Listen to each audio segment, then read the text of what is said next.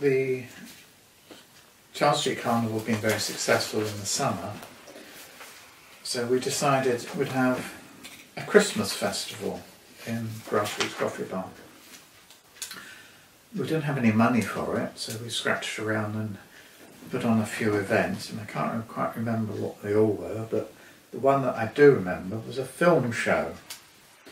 And we had somebody who worked as a social worker in Whitchurch Hospital, I think it was Whitchurch, and he brought some people with, shall we say, learning disabilities, and he brought a whole crowd of them down to the coffee bar one evening.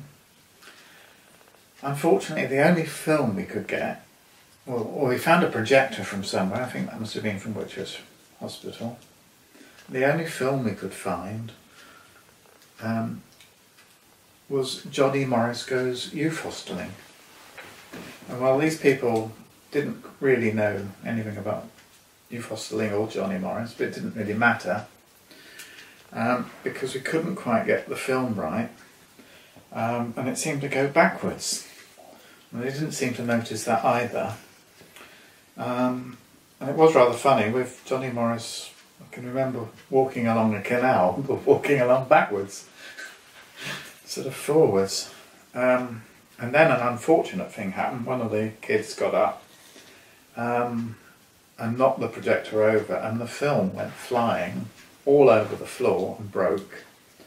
And we spent days desperately trying to get this film back together again, which we got for nothing from Cardiff Youth Hostel Association.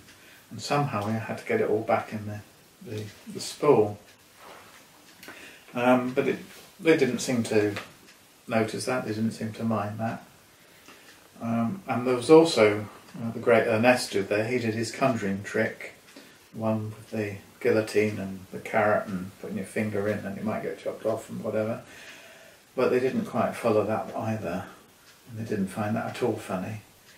So that was the end of the, the winter carnival. There was only one, and that was it.